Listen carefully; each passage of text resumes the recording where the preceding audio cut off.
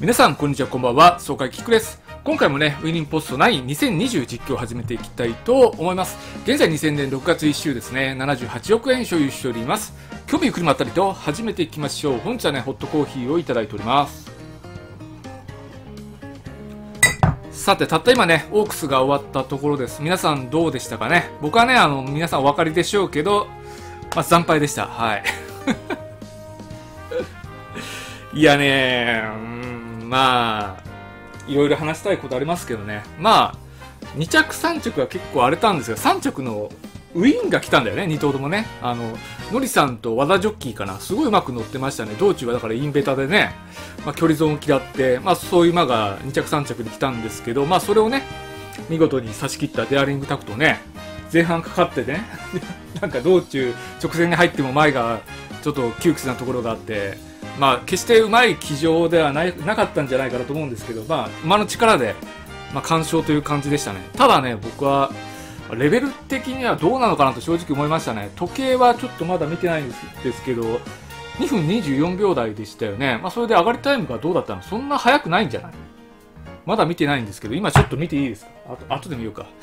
上がりタイムがね、そんな速かったのかな？どうですかね？いや、日曜日のね、ババちょっと見ていて、まあ、前半はね、午前中というか前半は結構上がりタイムかかってましたよね。そのあたりね、なんか散水、水撒いたのかなと思ってね。まあ、それで、まあ10レースですか。上がりタイム早かったじゃないですか。まあ、まあ、乾いてきたのかなと思って。うん、そういうね、あの、まあでも微妙な感じでしたよね。レーンあたりが、だから、ね、前から行くって言ってたのが、後ろ行きましたもんね。僕もそういう競馬するんじゃないかなと思って。まあ、結構差しも決まるとはね判断して後ろから行ったジョッキーもね結構いたんじゃないですかね。福永君が出遅れたのはねあのわざとではないでしょうけどねもちろんね。さて行きましょうか、うん、ダブルタクもなりますよ。ね。さて勝負見ていきましょう。うんステイゴールドね宝塚記念に行きます。そう前回ねあの取れてなかったんだよね。それでセーブしてなくてやり直ししたんだよ。うんそれでまあ、ダービーとかね、結果が変わってしまったんだよね。ダービーは変わってないか。ダービーそんな変わってないのかな。ね、ダービーではね、あのー、ウォーターフォールがオークスね、2着から3着になってしまったんですよね。これもう、残念としか言いようがないですね。それで、ね、あの、ダービー出れなかったんだよね、この、ブラザーフットね。ダービー出てましたよね。あの実況動画では。それがね、やり直した時は、京都新馬杯3着でね、ちょっとダービー出れなかった。ごめんなさいね。はい。まあ、それでちょっとね、あの予定が変わってしまったんですけど、ステイゴールド高槻記念に行かせます。これね、あの高槻記念、竹豊ジョッキーに追い込みを指示してね、2着に敗れたんですよ。グラスワンダーに負けたんですよ。グラスワンダー、高崎記念ね、横不良、横不良じゃなく全然横不良なんて言ったらダメ。全然違うよ。なんか競争中止になったっていう記憶があったんですけど、最後まで走ったんやね。確かね。うん。まあ、レース後下馬してね、まあ、引退ということになったんですけど、まあ、この前回プレイした時はさ、高崎園グラスワンダー干渉してたからね、追い込み届かなかったんですよ。なので、まあ、差しで勝負しようかなというところですね。ちょっとね、未来を変えましょうまあ、それで、津田ビクトリーもね、手王賞ね、これ、負けたんだよ、名声オペラに。うん。だから、逃げで行ったんで、先行で勝負してみようかな。もう一回、だからチャレンジしてみますね。波乗り順にね、あの、ダービー2着でした。これは一緒ですよね、結果はね。はい。NHK マイルカップも2着と、はい、これはもう一緒だと思うんですけど、まあ、この馬はね、まあ、秋に期待というところですね。ね秋はまあ、菊花賞は距離持たないんでね、菊花賞は勝ったのは、だから、ねエアシャカールですよね。まあ、ちょっと厳しい、チャンスあるのかな、ひょっとしたら菊花賞の方がね。うん、菊花賞に行かせてもいいかもしれません。それでアンダーブリッジプロキオンステークスですね。タイガーハートもアルハアハルテケステークスか。ね。うん、この馬もねオープン特別リステッド競走ではめちゃくちゃ強いのでね、うん、イージースマイルエプソムカップですね。これま重賞勝ちましたっけ？勝ったんだね前回ね。はい。うん。福島牝馬ステークス勝ったんだね。はい。まあ、シンクロにして放牧出してこの馬がどこ行こうかな。七夕賞ね。はい。距離ちょっと長いですけど。バンガゼルがねこれ早熟だからねなんか使った方がいいよね。まあ、それで日本ダービー福永ジョッキーが乗ってるっていうね前回のだから実況動画では北村君乗っけてたのと思うんだけど福永君が乗ってたっていうね。そりゃ勝てねえよ、ね、いやリリー・ピアハートね。福永ジョッキーがもうだいぶ前からオークス狙ってるっていう話でね、サラブレでも語ってたんですけど、その狙いのオークスでね、出遅れる福永君っていうのはちょっと、ね、あの、お茶目ですね。はい。それでバンバンバカンスね。セント・ジェームズ・パルス・ステークスね。これもちょっと、好勝負したんだけど勝てなかったんだよな。やっぱね、ヨッパーが向いてないのかもしれませんね。ババも向いてないし。まあ、それで、精神力 G、賢さ G だからね、加減性向いてないんですよね。まあ、国内ではアグネスデジタルとかね、結構強い、ね、馬がいるんでね。今、ちょっと、大丈夫かな今、切れたんだけど、大丈夫かなちょっと一旦切りますね。はい。あごめんなさいね。はい。まあ、それで僕、ホリエモンがね、安田記念に挑戦するっていうね。はい。うん。ねえ、あの、前回なんか安田記念の、あの、さあ、の、なんていうんだ、その、あの紹介、馬の紹介の動画あるじゃないですか。あのところでね、あれ？安田記念みたいな感じで止まってたと思うんですけど、安田記念何出るか分からなかったんだよね。実は僕、ホリエモンでしたね。結構ね、頑張ってくれてるんですよね。うん。谷川だけステークスをね、まあ、一着と。はい。これまあパワーあったっけ？パワーがないんだね。まあ、スピード E プラスだから、まあ、重賞でもやれるっていうね。まあ、それでね、あの、まあ、ホリモンで思い出したんですけど、高校野球ね、甲子園が中止になってしまいました。うん。もうすごいね、もう、おいっ子に何言っていいかわからないしね。まあ、親父はちゃんと、あの、なんか、LINE でメール送ったらしいんだけど、これまあ、何も言ってないんだけどね、まだね。うん。かける言葉がないなっていう。うん。まあ、それでね、いろいろなんか、指導者の方がね、監督さんがなんか、さ、いろいろやってる人いるじゃないですか。甲子園中止になったって聞いて、ああいうの見てね、やっぱり高校野球って指導者だなと思いましたね。うん。僕もだから、指導者すごい重要だっていうのはもう身に染みて感じましたしね。これからね、あの、高校ね、選択される方、中学生とか見てるか知らないけどさ、いる、いったとしたらね、やっぱりね、指導者をね、見てね、指導者調べて、高校選択っていうのはしてほしいなと思いますね。絶対もう本当に指導者で、高校生活って変わってきますよ。本当に練習内容とかも全然違うしさ。絶対指導者を見てください。まあ今、だから、ね、そういうさ、なんかネットでやってる人いるじゃない、監督さんで。そういうのはね、しっかりね、情報をね、見ておきましょう。うん。うん、いい監督さんだったらなんかやってるよ。うん、さて、行きましょうか。スカイサフィールね、ファッコダットスプリントカップか。スプリントステークス。うん。まあ、チャンスあるかな、これもね。あんまり坂でもこなすんだけどね、G プラスなんだよね、パワーね。うん。セイクあたりが、まあ、報告出して七夕賞と。七夕賞結構出るね。出るね。ファイファンがね、あの CBC 賞。これもね、ちょっとレベル高そうなんだよね。うん。あ未来のかけらね、あの夏場のサマーマイルシリーズ狙おうかなと。うん、未来のかけら 1200m に行けるんだ。ね、あとはそんなとこですか。2歳馬に期待ですね。まあ、あのね、一番期待してると言っても過言ではないね。ベルベットタッチ、マルガイのね、これすごいの引いたんですけど、これがだから6月1週デビューなんでね、今週かね。うん、万能長期なんでね、確か、まあ、この新発見たんだけど、そんなね、引き離さなかったんだよ。うん、だから、それほど強くないなっていう感じだったんですけど、まあちょっともう一回見てみましょうね。距離、距離適正の問題かな。ね。一旦切ります。あ、ごめんなさい。今ね、あの、上がりタイム見ました。デアリングタクトの上がりタイムね、3ハロン、上がり3ハロン、33秒1。これはもう、グーのでも出ないなっていう。ね。僕はもうこれ、もう、もう何、もう何も言いませんね。うん、33秒1の上がり使ってたんだ。ね。結構だから、まあ全体時計がね、22分24秒っていうのは、ちょっと遅いかなと思うんだけどね。レベル的にはどうなのかなと思うんだけど、33秒1の上がり使ってたら僕はもう読みが全く外れてたということですね。はい。うん。まあ、すっきりしました。はい。行きましょう。ネクソ。サクッとサクッとサクッと、タララ。いやね、言ったっけ？俺直前ね、あの、デアリングタクトと、ねあの、クラバシドールの3連複二等軸で買ってたん。それで、ウィン2と思ってたんだよね。クラバシドール何着 ?15 着ですよ。ちょっと残念だなっていうね。はい。ごめんなさい。2番人気ですね。これ2番人気だったんだよ、これ。どうなるかなと思って、勝ったんだけどね、1番人気ルミナントグラフでしょまあ、格馬だと思うんですよね。まあ、大好きな。C ジョッキーちょっと変えようか。ね、C ジョッキーの能力っていうのがそんな上がってこないんでね。4コーナーをカーブしてさあこれからです、うんこれさせるよさせる。頑張れ頑張れ楽しめ楽しめ。能力が違うよ。これマイル戦ですかね。いけいけ。ちょっと頑張れ。ちょっとやばいやばい。やばい負けるんでねえのこれちょっと頑張れ頑張れ。力が違うやろ。力が違うやろ。根性違うやろ。させさせ。させ。よし勝った。なんとか勝ちましたね。はい。まあルミナントグラフあたりはねシーツパーではないと思うんだよね、うんまあちょっとあの距離適性がこれマイル戦だよね。ね、マイル短いのかなというところですね。うん。能力あるはずなんでね。あ、ちょっと C ジョッキーはちょっと変えようかな。まあ、海外遠征も視野に入れたいというか、そうですね。まあ、まあ、マイルいけるのであれば国内牝馬三冠うん、狙ってもいいんだけど、うん、まあ、これネクストできますね。は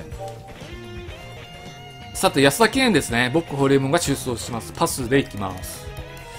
いやね、安田記念じゃない、ごめんさい。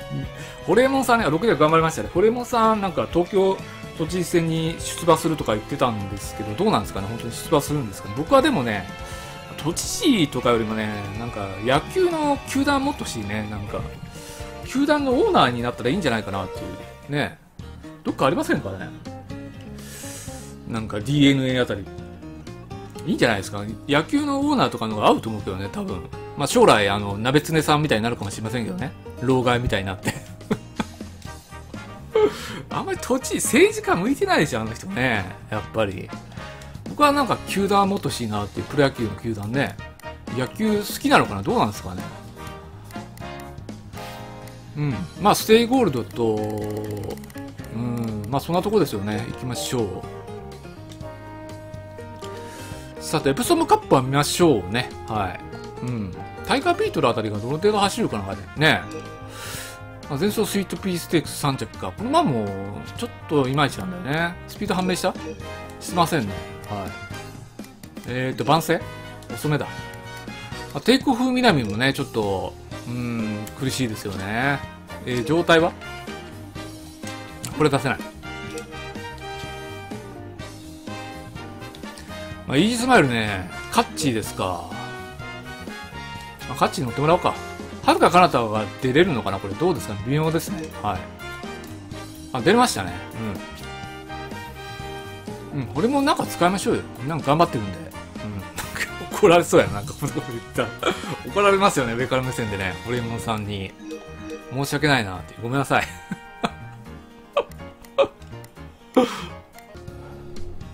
はい、ちょっとね、ベルベットタッチの視線変えましょうかね。はい。ジョッキーを、まあ、竹豊ジョッキーに乗ってもらおうか。やっぱり影遠征と言ったらね、やっぱ世界の竹豊だよね。うん。乗ってもらいましょう。まあ、それで中京に乗りに来てくれるかっていうのはちょっと心配なんだけどね。どう、どうですかね。まあ、それで主戦もね、一応武豊ジョッキーに変えておきましょうか。ね。はい。OK。これはやっぱり世界をね、あの、望める馬だと思うんで、うん、行きましょう。さて、エプソムカップですね。タイガービートル勝ってましたね。タイガービートルひょっとしたら、あの、秋の G1 先生に乗ってくるかなね。ひょっとしたらね。うん。あ、それでイージースマイルが5番人気と、6番人気はるかかなたと。1番人気進行スプレンダーね。大物と見せて、意外と大物じゃない進行スプレンダーね。2番人気カートゥーンと。カートゥーンってちょっと覚えてないんだけどな。うん、ラスカル鈴鹿とかいますね。ね。ミスズ・シャルダン。うん。成田トップロード。成田トップロード3番人気。マジで？ナルトップロードなんかウィッポでなんかね、扱い方ひどいような感じするんですけどね、いつもね。はい。イージスマイル追い込んでいかせます。大でしょまあ、イージスマイルはね、いつも追い込んでくる馬だからね。いよいよ直線の攻防アンブラソモア先頭リードは2馬身から3馬身いつもけなげに追い込んでくるイージスマイル。ね、はるかかなったがちょっと落ちてきたのかなっていう感じでね。さてさて、ちょっとダメだな、これね。ダメだ、これ。進行スプレンダー来た。進行スプレンダー。あ、内から全の？あ、ラスカル鈴鹿だ。ラスカル鈴鹿とね、成田とプロードの組み合わせがエプソムカップでね、決まるっていうのはちょっと秋でら残念ですよね、なんか。うん。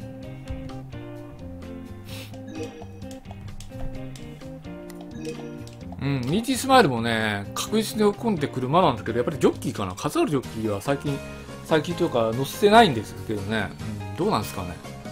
さて、函館スプリントステークスね、スカイサフィールド、末広ジョッキー。いや、末広ジョッキって初めて聞いたよ、俺は。お前の名前初めて聞いたよ。女の子に乗っけようか。女の子育てるっていうのも一方ではやっぱり面白いからね。うん、ちょっと懇意になっとこうかなっていう。井上京子ちゃん。はい。モデル誰かな、これ。ねえ。ななこちゃんは最近頑張ってるのかなね、100勝しましたよね。うん、うん。さて、ブラザーフットもちょっと頑張ってほしいね。うん。さあ、ちょっと建設しましょうかね。はい。何したらいいんだろう。まあ、脂肪板をね、全部広げてるんでね、牧草とかやとか、牧草とか基本でしょ故障しにくくする。故障なんてしないからね、正直。ウィポでは。ね。観光施設もいたし、10位は。販路とかやっぱり重要じゃん。ミストも作ってるし、研究と、牧場長の成長を早める。牧場長の成長を早めるの。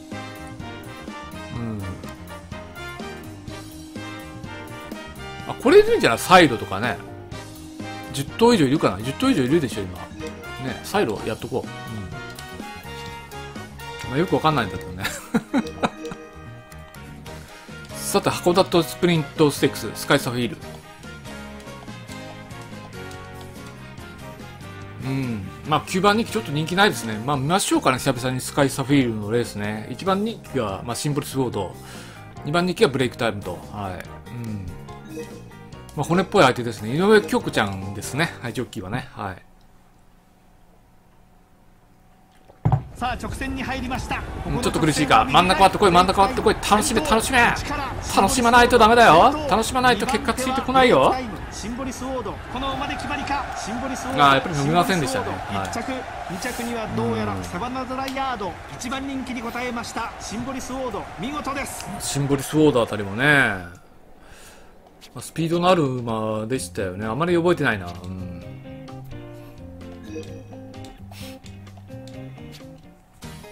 なんかシンボリが丸貝かよって思ってた時期があったようなないようなね、なんか、ね、シンボリクレディスエスも丸貝だったと思うんですけど、丸貝だよね。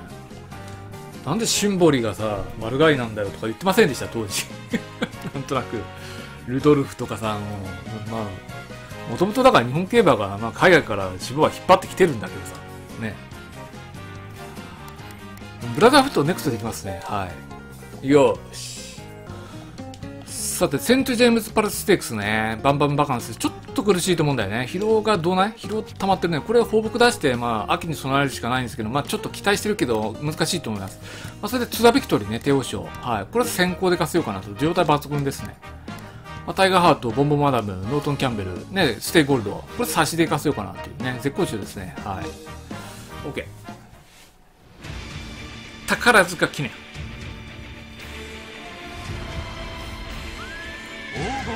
ステイゴールド、黄金旅程。グラスワンダー。あグラスワンダーの引退レースですよね、このレースはね。勝ったのがだから、まあ、名称、違うね、テーモブラウか。ね、メイショウドトウが2着したレースですか？ら、名称島はまだか。どうでしたっけ？うん。ちょっと一旦切ります。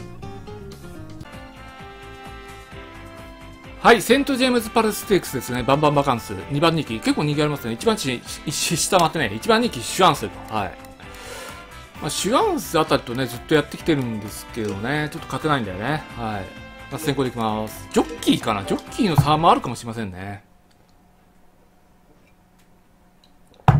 まあ、海外競馬はやっぱり竹豊ジョッキーとかね。あ頑張れ頑張れ。先頭先頭粘ってくれ粘ってくれ。ちょっと打ち詰まれ黒い星打ち詰まれ勝てる勝てるチャンスあるチャンスある。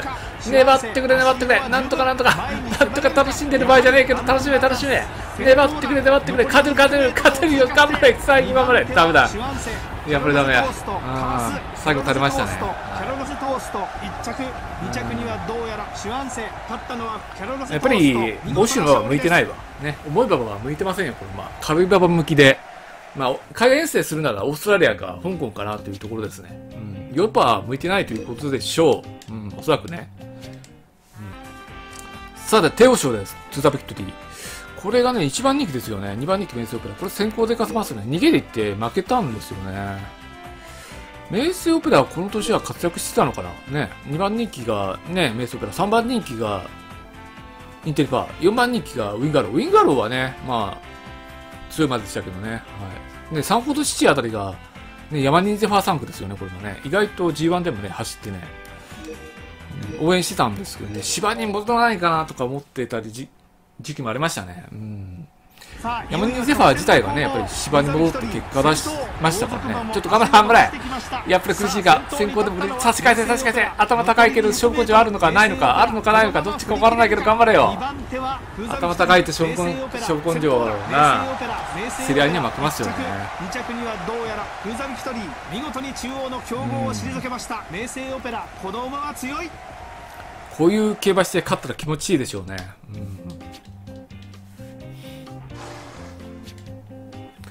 から昔、だから、田原ジョッキーとね、あの、竹見隆ジョッキーでしたっけ？マヨントップガンと成田ブライアンの世紀の名レースって言われて阪神大商店のレースがありましたけど、あれはでも、ね、田原ジョッキーからしたら全然名レースじゃないよって言ってましたけどね、馬の名勝負であって、ジョッキーの名勝負ではないっていうことをね、言ってましたけどね。まあわかりますよね、田原ジョッキーの言いたいこともね。今回でも奥さんやっぱりノリさんとね、和田、和田くんでしょ？あれ3着に来たのうまいよね。狙ってたなっていう。ねノリさんなんて、ピンク帽でしょ ?8 番からどうやってあんな、あの位置行ったの？ちょ、そこまでちょっとちゃんと見てないんですけど。うん。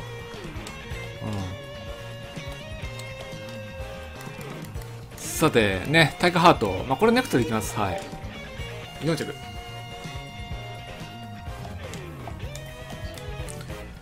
さて、宝塚記念ですね、ステイゴールド。うん、1番人気ですね。2番人気が、グラスワンダー。3番人気が、スティンガー。スティンガーあたりはね、2020ではちょっと弱体化してる感じがありますね。4番人気、ファルンピスト。うん。まあ、シルクジャスティス、じゃ、下回ってごめんなさいね、なんか。オペラ王が5番人気ですね。ジャスティスが17番人気と。まあ、オペラ王がちょっと強力なライバルだと思うんですけど、まあ3強ですかね。差しでいかせます。まあ、ダイジェストいきましょう。果たしてね、差し切れるかどうかね。さあ直線に入りまどないどこ？ちょっと溜めてる場合じゃねえよ。溜めてる場合テームが前にいるけどさせそうやな。これまあただねあのやっぱグラスワンダー強いわ。グラスワンダーさせないよこれ。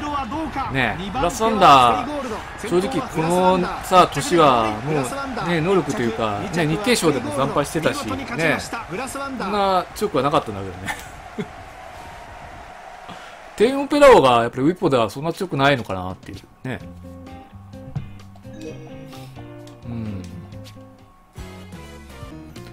さて、4月1週夏競馬ですね。はい。CBC 賞がホリエモンとファイファンと。ラジニケオーバーフロー意外と楽しみですね。やれるんじゃないかなと。ハンデも51キロならやれるんじゃないかなっていうね。うん。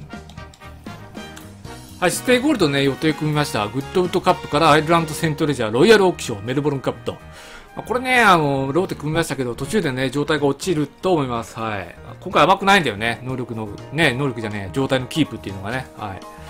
まあ、帰ってくることになるかなというところですね。はい。行きましょう。さて、ラジニッケイ賞ですね、オーバーフロー。先ほどね、あのウルトラソウル勝ってました。ウルトラソウルね、スピード判明してね、D プラスぐらいありましたよ。うん。だから、そこそこ走ってくるかもしれませんね。うん。まあ、それで、オーバーフローね。これ、ね、パワーがない馬だからね、まあ、福島ね、ちょい、ちょい坂があるんだけど、なんとかこなせませんかね。3番人気、人気ね、ありますね。はい。1番人気ミデオンビットと、先行馬やね。2番人気がプレエミネンスと、ダート馬でしょ？まあ、チャンスありますよね。はい。タップダンシティが出てる意外なところで。タップダンシティ番宣ですからね。さあ短い直線に入ってうん内から真ん中真ん中いけるいけるさせさせちょっと坂で伸びないのかなこれね。ちょっと追い込みがねはまるかなと思ってきや伸びませんね。ねいや。ねマイラーとダートバーで決まりましたねいやこの相手だったらねやってほしいところなんだけどね全然伸びなかったね。うん。ちょっと前に位置しすぎたんじゃないですか？あウィンブレイズあたりもねメジロライアン3区の渋い馬ですよね。いぶし銀みたいなね。馬でもいますよね。いぶし銀みたいなキャラね。ウィンブレイズとか。ね。ウィンの馬っていういぶし銀が多いですね。なんか今回のなんかオークスの2頭もそうだけどねあの香港で強いねウィーンいますよね。名前名前出てこないけど。いぶし銀な感じだよね。牝馬にいぶし銀っていうのはちょっとどうかと思うんだけど。それで CB 師匠ね、1番人気マイネルラブ、はい、2番人気マサラッキと、はい、この辺りはちょっと厳しいな、ね。うん、まあ、ホレモンにも頑張ってほしいなって。ファイファンね、ファイファン。ドゥドゥドゥドゥドゥドゥドゥドゥドゥドゥ。4コーナーをカーブして、うん、さあこれからあってことあるよ、頑張れ。頑張れ、5番はどっち？大拓大和が、ね、ちょっと差し切った先頭だった、粘ってくれ、ちょっと真ん中からね、車内の勝負区、すごい大接戦、頑張れ頑張れ、勝てる勝てる、ファイファン、ファイファン、ファイファン、いけ、粘ってくれ、粘ってくれ、勝った、ファイファン勝ちましたよ。ファイファンは重賞初勝利。ひょっとしたら。ね。この相手にね、勝ったということはね、G1 級ということですよ。ね。はっきり言って、ハンデが、ハンデ戦でもないしね。ハンデ戦かし、ビッショ。うん、強かったですね。ね意外と。うん。うん、これも発着ですね。はい。あ、チューター3区ね。ね何度も話しましたけど、チューターって、キュータ君って僕はね、幼稚園の頃かな、小学校の低学年から、ぬいぐるみをなんか、持ってましたね。チュータっていうネズミのぬいぐるみをね。それで、まあ幼馴染のね、あの、ひーちゃんとね、なんか、ぬいぐるみで 遊んでたな。さて、4月2週ですね。ベストフレンド。うん、これまあ、ダート馬か。クラシック。早熟。いや、聞いてねえよ、それ。あ、スターマンの子供だ。あ、ダート馬なのこれまあ、ちょっと参ったね。いや、スターマンの子供で、ひょっとしたらシュバーに上がれ、上がってね、スターマンの血を繋げるかなと思ってたんですけど、ダート馬まさかの。いや、それは聞いてねえよっていうね。ねえ。菅野くんの馬でしたっけ、これ。久々に菅野くん今引いたんじゃないかなと思ってたんですけど、ちょっとね、あの、うん。まあ、七夕賞ね、3頭出しですか。ウォーターフォール除外だ。ウォーターフォールね、49秒出したいよね。まあ、シェイクとシンクロニシティ。シンクロニシティちょっと下げようか。出れない。出れないね。2頭で行くわ。うん。ウォーターフォールどこ使おうかな。まあ、オーバーフローもダートいけるんやね。まあでもダート丸なんで、そこまで得意ではないか。まあ、坂はダメだからね、これもね。うん。まあ、放牧出した方がいいのかな。武田、ちょっと自分自分でやるわ。うん。まあ、ウルトラソウルもね、これ、ね、スピード判明して調べられないか。あ、クラブ法人が来ましたよ。はい。やります。はい。あ、ようやく来ましたね。それより子供欲しいんだけどね、俺ね。子供全然生まれないんだけど。ねえ。あ、もちろんです。はい。ようやくクラブですか、誰しましょうかね。この人しようか。あの、なんていうの、AKB の。AKB の誰だっけ？全然名前出てこないんで、最近ね。芸能人とか、今の名前もそうですけど、まあ、この人でいくわ。うん。そうそう。あの、チャンピオンジョッキーやってくれって言われてるんだよね。それでね、レトロゲームをあれ最高ですよって言ってくれるね、なんか、方がいてね、レトロゲームの実況もね、やろうと思ってるんですけど、最近だから、まあ、緊急事態宣言ってこともあってさ、まあ、レトロゲーム屋とか行けてなかったんですけど、表権解除されましたからね。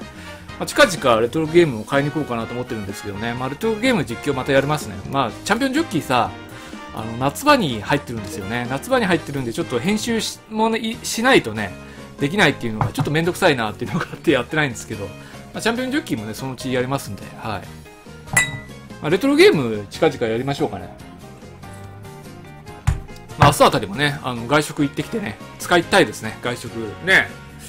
うん。まあちょろっとね、あの、緊急事態宣言下の時もね、あの、行ってましたよ、だから、テイクアウトとかでね、行ってましたけど、まあやっぱり客とか少なかったからね、うん。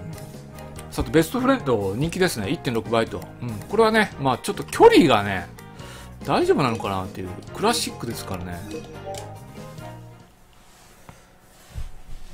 まあ、関東の方はまだ解除されてないんだよね。払い事じゃないんですけど、ごめんなさい。ね。いけいけ、先頭立った。これま強いよ。強い強い。うん。干渉ですね。距離はちょっと、全然平気やね。ねあ、これは強いわ。意外と強い。ねそして、スターマンと言ったらね、やっぱり切れる馬という感じがするんでね。ダートどうなのっていう。まあ、ただ、ね今でいう切れる馬っていう感じではなかったのかな。ね。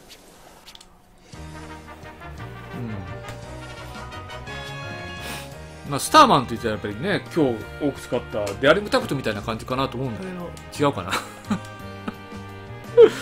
だから33秒1の末足でなんか、まあ接戦でしたけどね、オックスもね。うん、まあただ他の馬がだらしなさすぎるわ。うん、他の有力どころがね、あんな垂れると思わなかったし、クラバッシュドールとかね。うん、他の馬がだらしないね。33秒1で、まあ接戦、上がってきて接戦になるかなという感じがあったんですけどね。全然なんか、うーんっていうところですね。さて、ベストフレンド、のりさんっていこうか。はい。のりさん、やっぱうまいよ。うん。あスピードなかなかってことは、うん、そこまで D プラスぐらい。ね。うん、そこまでスピードないですね。今回ね、夏場ですからね、サクサク進みたいですよね。はい。もう秋までやりましょうね、今回ね。うん、七夕賞です。シェイク2番人気、1番、えー、4番人気シンクロニシティ、1番人気鶴丸剛と、鶴丸剛も強いからね。うん、まあ3番人気大隅ジェットと、大隅ジェットあたりならね、やれると思うんですけど、ツナンテが意外と強いですよ。ツナンテ2000は長いかな。ね。きましょう。シンクロニシティもねあの追い込みでもいけるみたいなんでね2000円追い込みの方がいいかな。さあ短い直線に入ってここからが腕の見せ所、うん、させさせさせ。ちょっと大隅ジェットが先頭。大隅ジェットもダート走らなかったまあ鶴丸剛やね、うん、意外と単発賞とかはね最近夏のレースレベル高いような感じするんですけど。実績馬がね G1 でも活躍する実績馬がなんか夏場に出てきてね。ねうん、そんな感じがするんだけど。乾杯ですね。シェイクあたり走ると思うんですけどね、まあ、相手がちょっと強すぎるなっていう、うん、さてプロキオンステークスアンダーザブリッジね。これがどうなのかな。3番人気ですね。1番人気サウスビーグラスサウスビーグラスには勝てねえわ。2番人気テセウスフリーでね。はい、うん、頑張ってるんですけどねアンダーザブリッジもね、まあ、秋まで能力が持てばね、JBC スプリントとかまた挑戦したいんですけど、頑張れ頑張れいけいけチャンスあるチャンスあるサウスビーグラスが来てないので、いけいけさせあ、ちょっと外の方が優勢やわ。外やな。ノボトゥルーも G1 馬ですからね。うん、あ、接戦になりましたよ。うん、まあ、外差しの結果になりましたね。ウィンクルヒースっていうのは角馬ですかね。サウスビグラス敗れました。これは掲示板までです。まあ6着ならねまだ頑張ってますよね。さて4月3週ですけどねブラザーフットがバーデンバーデンカップに登録してるんですね。バーデンバーデンカップって1002だよね。まあね距離加減 1300m なんでいけないことはないんですけどどうですかね？ちょっとジョッキー変えましょうか、まあ、バーデンバーデンカップちょっと見ましょうかね。ね。ジョッキーね誰かいませんかね？うん。篠山祐介。ねまあ、島山君に乗ってもらいましょうか、うん、アナスターシャはちょっと状態がダメですね。はい。あえっ、ー、と指原さんね。指原さん。はい。何でしょう？クラブの代表ね。うん。あ名称ねまあ、技巧でいいですかね。僕の名前の音読みですね。はい。キックでいっか、キック。技巧やな。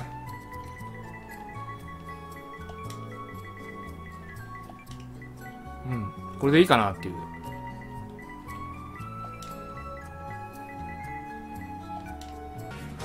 さて、バーデバーデカップ、池早秀とロタフット。うん、人気ですね。一番人気がね、レディークラシック。レディークラシックっていうのはちょっとわからないな。ブレイクタイムが出てるんですね。4番人気と。はい。うん。まあ結構ブレイクタイムはね、重賞でも走る馬ですからね。クリールサイクロンが1000人に出ているというね。クリールサイクロンも、ね、スプリングステークスで構想したんですよね。スプリントという感じはしないんだけどね。うん。大でしょうまあ意外とやれるんじゃないかなって。息早がスピードあったんだよね、意外とね。E プラスぐらいね。ブラザーはどれぐらいあるの？かなさてさて、やっぱブレイクタイム強いでしょ。重賞級だからね。あ、やっぱ厳しいわ。うん。勝てないわ。あ、来た。2ととも来たけどね。3、4着、5着。まあ、ブレイクタイムやっぱ抜けてるでしょうね、このメンツだったらね。はい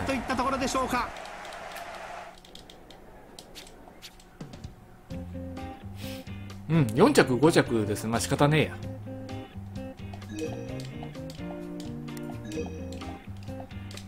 さて、7月4週ですね、中京2歳ステークス、ベルベットタッチね、これ負けてもらったら困りますよ。竹田がジョッキー乗ってくれるね。除外ってことないよね、まさかね。タイガービートルどない、まあ、状態いいね。はい。はるかかなたも出れそうですね。はい。未来のかけらも期待しております。さて、ベルベットタッチね、4番人気と人気がないんですよね。1番人気メジロベイリー。メジロベイリーはね、もちろん、朝日杯で？勝ったんだよね。勝ったんだよね、確かメジロベイリーね。はい。ねメジロの馬なのに馬なのにサンデーサイレンス産駒っていうね。うん。まあ、ただ、その後故障してね、クラシックにはね、出れなかったんですけどね。うん、3番人気ダントフレーム強いところが集まりましたね。ちょっとレベル落ちると思って、中京2歳ステークス来たんですけど、レベル高いね。高くねえか、これ、低毛者もおるよ。G1 級がゾロリと。いや、これさすがに勝てないでしょ。これ勝ったらすごいよ。ね距離適性合わないしさ、マイルは。ちょっと苦しいよね、これね。うん、レベル高いわ。頑張れ、させさせ、チャンスある。中級直線意外と長いから。来た来た、させさせ、いいけるよ、いけるよ、ちょっと。頑張れ、頑張れ、頑張れ、させさせ、させ。ちょっと手応えないな。うん、苦しいわ、やっぱり。メジロベイリー。まあ、でも3着ですね。はい。うん、まあ、能力あるところは見せました、ダンスフレームとかメジロベイリー G1 馬だからさ。距離適正のね、合わないマイルでこれだけ走るんであれば、まあ G1 級ですよ、この馬ね。うん。うん、ちょっとレベル低いと思って出したんだけどね、失敗したなっていう。うん。ちゃんと見ないといけませんね。うん、はい、中京記念ね、未来のかけら、ね、サバマイルシリーズ期待しましょうね。レベル高いと思うんだよな、このレースな。うんまあ、ハンデがどうなのかね。1番人気シンボルインディね、G1 馬。2番人気がワシントンカラーね。G1 高走馬3番人気がねテラミスピンキー、まあ、角馬でしょうね。まこの2頭がね強いと思うんですけどね。エアスナップもいますね。ね。まあ、ハンデが52だからね。ハンデでチャンスあるんじゃないかなっていう、うん。4コーナーをカーブして、うん、ちょっとね内でね溜めてますけどね。大丈夫これ。させる。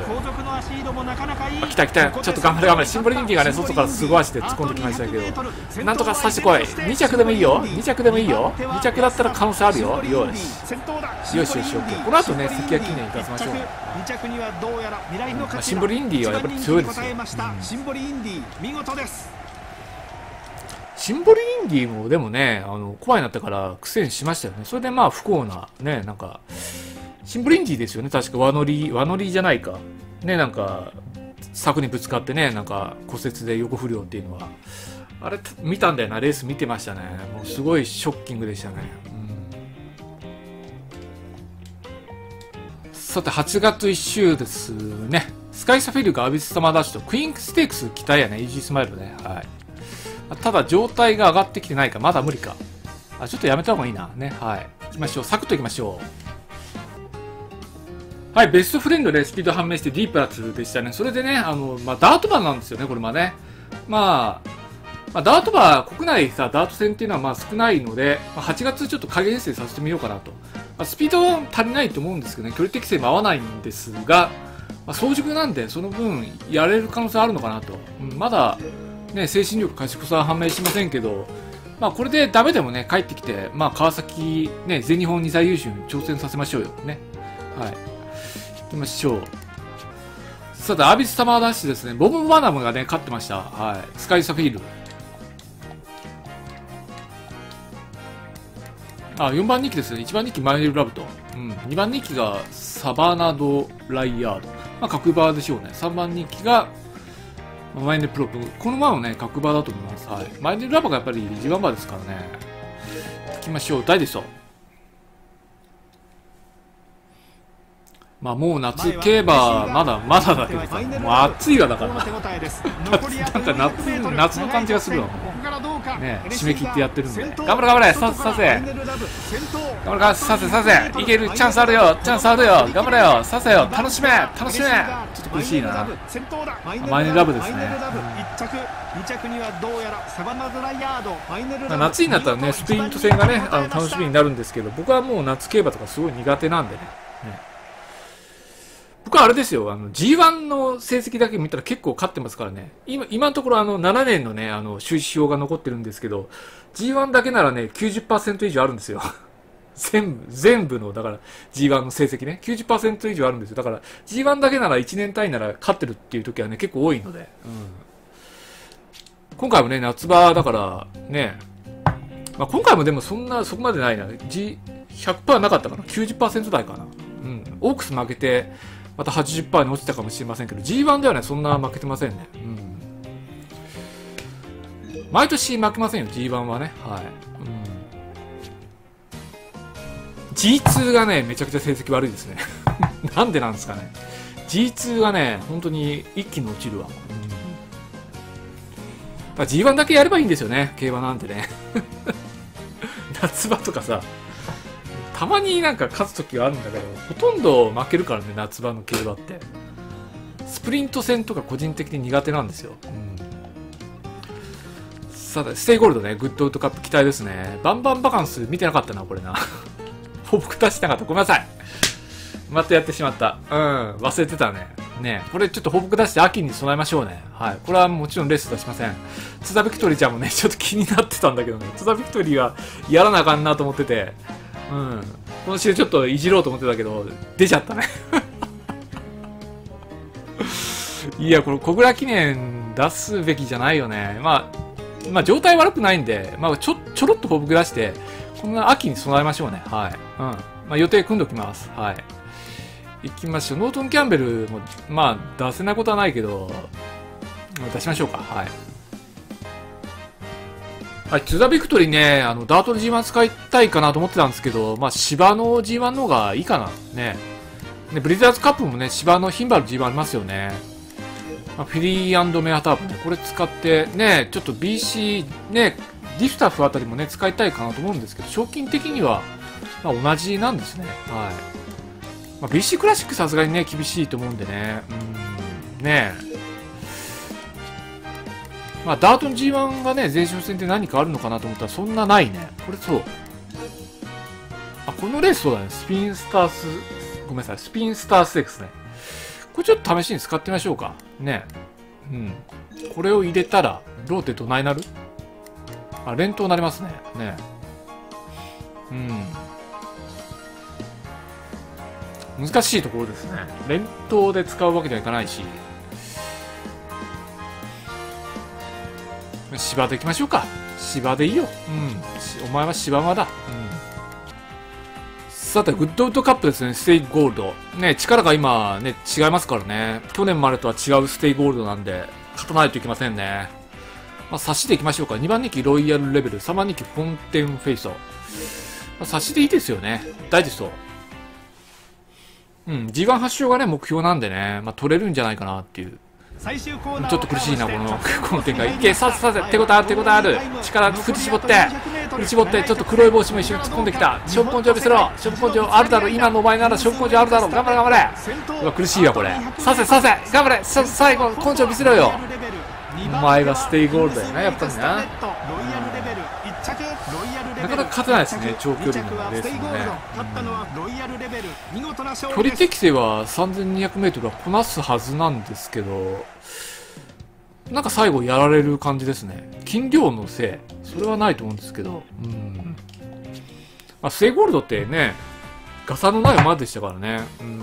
筋量とか答えてる可能性はありますよね。まあ、そういうのがウィポで設定されてるかどうかっていうのはわからないですけど。さて、8月3週ですね。カモンがデビュー戦ですね。カモンっていうのは？ね、デウスの子供ですよね。はい。うん。これまあもうダート場なの。ダート場なんだ。ねデウスが意外といい馬を生んでくれるんでね。まあこれも期待ですよね。ただ早熟だからね、ちょっとどうかなっていう。まあ、関谷記念シンクロニシティとね、未来のかけらね、シンクロニシティも状態抜群やね。はい。行きましょう。未来のかけらね、サマーマイルシリーズ狙ってるんでね。はい。アンダーザブリッジもちょっと苦しいか。ね、タイガーハートも出ますけど。うん。はい、2歳シンバカモンですね。ブラザーフットね、勝ってましたよ。ブラザーフット、だからオープン入ったのかなひょっとしたら。まあ、新潟記念あたり使ったら面白いかもしれませんね。あ、2番人気ですか。日高グレイン。日高グレインってシリーズ場かなね日高軍団が2頭見ますけどね。うん、まあ、ダート 1000m で、ちょっと竹豊ジョッキー安城でね、2.0倍っていうのは、ちょっとどうかなっていうところですね。まあ、終始ついてたからね、これはね。まあ、強いよね、やっぱりね。はい。粘ってくれ、粘ってくれ。粘ってくれ、粘ってくれ。完勝ですね。うん。まあ、そこそこスピードあるよ、この感じだったら。ね。スピード C、C ぐらいあるんだよ。これ、やっぱ強いよ。ね。強い強い、このまま。うん。スピードそこそこありますね。ね。ダート馬だからね、ちょっと勝ち合うよね。ね。どうしようかなっていう。このまま海外連れて行ってもいいのかな結構やれそうな感じするんだけど、タケツさんでいきましょう。はい。安定感あるってことは、ね、あの、海外行けますよね。ね。海外行きましょうか。牝馬だし。ね。カモンカモンってなんか山田花子さんがなんか言ってたよね 山田花子さん最近全然見ないけど、吉本のね、関谷記念。1番人気シンクロにして、へえ、3番人気未来のかけらと、2番人気は、あ、鶴丸剛ね。鶴丸剛はどうですか？ねスマイルはね、6番人気ロサードと、はい。深海運あたりもね、昭和の匂いしますよね。深海運って当時から昭和っぽいなっていうね、この馬はだからいぶし銀だよね。なんとなくね。いぶし銀だなと思ってましたね。さあ先頭シンクロにして頑張れ頑張れ、うん、未来のかけら後ろだよね、ね、ちょっと苦しいかなこれ。粘ってくれ粘ってくれシンクロニシテが意外とね強いんだよねこれはね。名前ちょっとミスってしまったんだけど頑張れ頑張れ外から外からなんかすごい突っ込んできたよ粘ってくれ粘ってちょっと待ってちょっと待って。2着やのロサーだよね。うん惜しかったなっていうね。はい未来のかけら何着だった今。ちょっと見てなかったんだけど。あ、5着か。ちょっと苦しいですね。ねうん。まあ、シンクロにして58キロでね、よく走りましたね。はい。タイガーハート見ましょうかね、久々にね。タイガーハート4番人気。アンダーブリッジがちょっと能力落ちてきてるかなっていうところで、1番人気ゴールドヘッド。ウィンガールはいますね。スマートボーイあたりもね、あの、個性派でしたよね。アサチスでしたっけね。1008得意の逃げ馬でしたね。ね。さあ短い直線に入って来た来た。頑張れ頑張れ。ちょっと苦しいか。ちょっと苦しいか。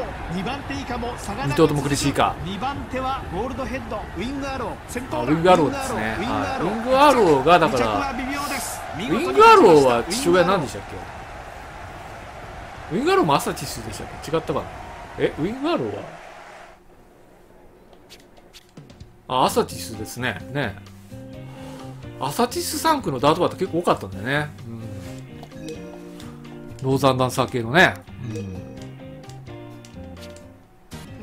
うん、さて、8月4週までにしましょうかね。シェイク出れないんだ。ファイファンが札幌記念。そう、ファイファンどうなったかなって、なんかさっきさ、思い出してたんだけど、ファイファン札幌記念。ちょっとあの、僕もね、あの、喋りっていうかさ、実況やってたらやっぱり集中力かくからね。ごめんなさいねとしか言いようがないんだけどね。まあ、止めてるからね、その度になんか確認したらいいんだけどさ。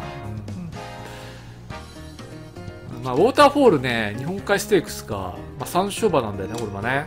これね、あの、サッパラ見たらね、まあちょっとサッパラちょっと物足りないよね。瞬発力 G プラスで、ね、勝負根性 G プラスで、まあ、最後だからオークスね、競り負けたのはこのせいでしょうね。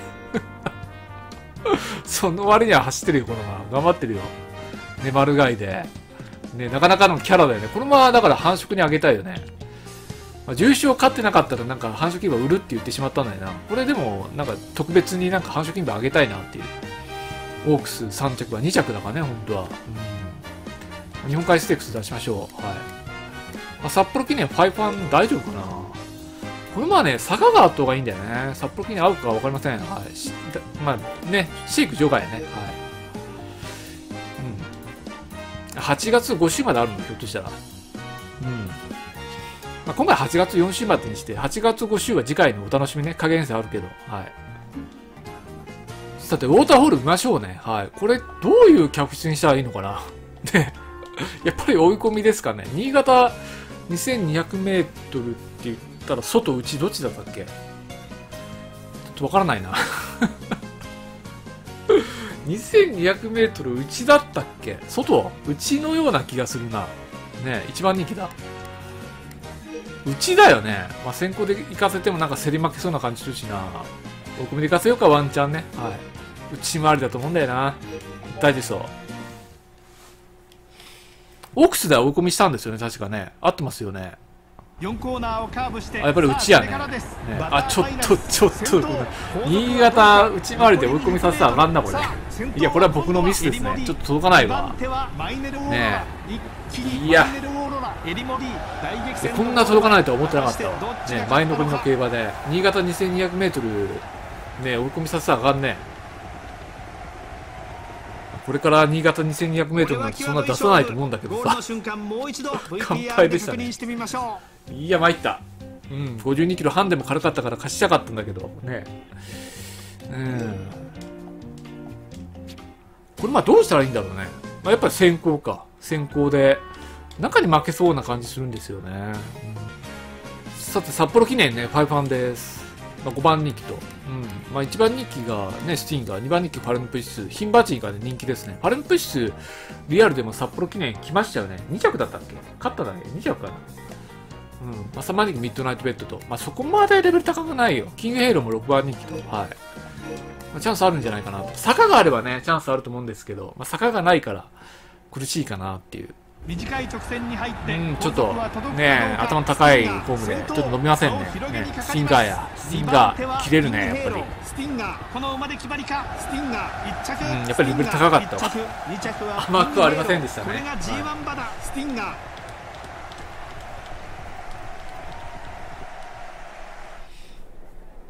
うん、1分55秒7めちゃくちゃ速いよ。1分55秒7って日本レコードでしょ。うねさすがに今の競馬でも1分55秒台は出てないよね。出たっけなんか。